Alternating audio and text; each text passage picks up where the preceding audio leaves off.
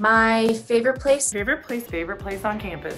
I'm gonna have to go with the ball and the wheel. Couldn't decide between us two. Love them both. One of my favorite places on campus was the top floor of Fraser Hall, looking out the window down Jayhawk Boulevard. My favorite part uh, of campus, Marvin Hall.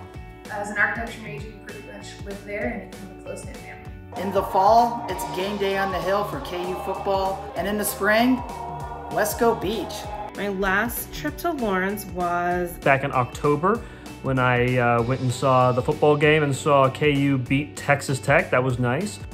The last time I went to KU was last summer for the Alumni Association Leaders Retreat, Camp Jayhawk, I think it was called. About three years ago, me and some friends went for the weekend, um, visited all of our old haunts, made new memories, and you know, the nice thing was that as much as Lawrence has changed over the years, it still felt like home. Favorite uh, professor? Professor. Professor. Dr. Sally Roberts in the School of Education. She was in charge of the Deaf Ed program. She helped me through my undergrad and my master's and was a true mentor. Dr. Volk, uh, liberal arts and in Fraser Hall. His class really taught me, I mean, honestly, to just don't take things too seriously. Like, we're all here, you know, we're all at KU going after the same goal, um, and we can make learning fun, we can make teaching fun. Professor Tim Bengtson from the journalism school, he was my advisor, uh, gave me a lot of great advice. Dr. Bernie Kish in the School of Sports Management. He's a wonderful mentor. Um, actually, my dad became pretty good friends with him. They are pen pals.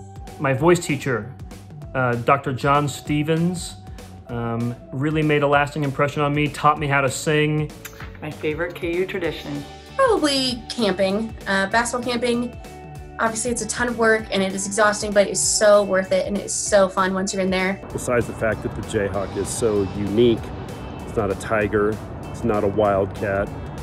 Come on, it's a Jayhawk. It's waving the wheat. Well, being the mascot, I was Big Jay. So I'm gonna have to be cliche and say the Rock Chalk Chant and everything associated with the mascots. What activity do you enjoy the most while staying and working from home? I, I, I enjoy getting out and running. That's so it's not really staying at home. So my time quarantined here at home has been very interesting.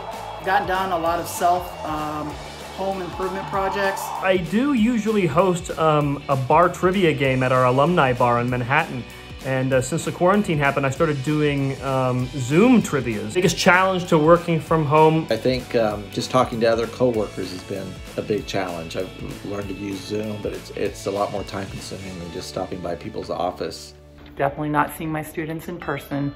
That's been hard. Don't have that much work, so that in it in and of itself is a challenge. Have I had a chance? Had a chance. Had a chance. Had a chance to reconnect with friends or classmates from KU. Absolutely. As I mentioned, the um, the Zoom trivia's that I've been doing, a lot of old KU friends have been joining in, and that's been awesome to reconnect with some of them. Yes, I do. I stay in contact with my college roommate, and. Um, and we've talked a couple of times uh, during this pandemic. Actually, my group of best friends from KU, we did a little Zoom happy hour, which was awesome. You probably wouldn't have done that without COVID.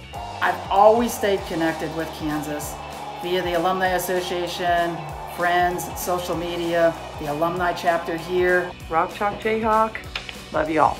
I hope you are all staying safe and rock chalk. Hope everybody's doing well and rock chalk. Rock Chalk Jayhawk. Go KU!